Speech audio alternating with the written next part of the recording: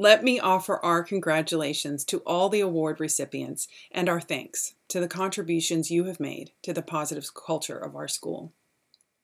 We will now move on to scholarship awards with Ms. Dunn, our school counselor at CHS. We begin by announcing some of the scholarships that have been awarded to seniors.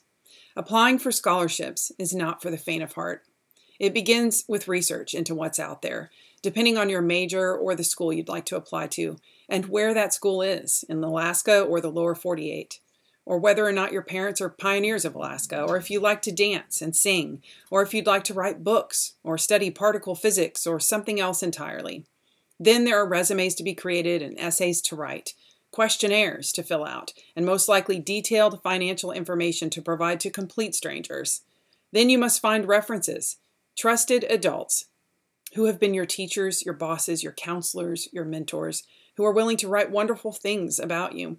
And then there are deadlines, and then the waiting. But sometimes it's all worth it.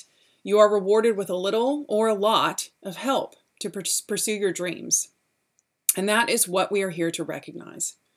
I will turn it over to our school counselor, Ms. Dunn, who is the one juggling everything I've just described for you. She works with students to submit those scholarship applications, encourages them, and waits on pins and needles along with them, setting these seniors up for success. Thank you, Ms. Dunn.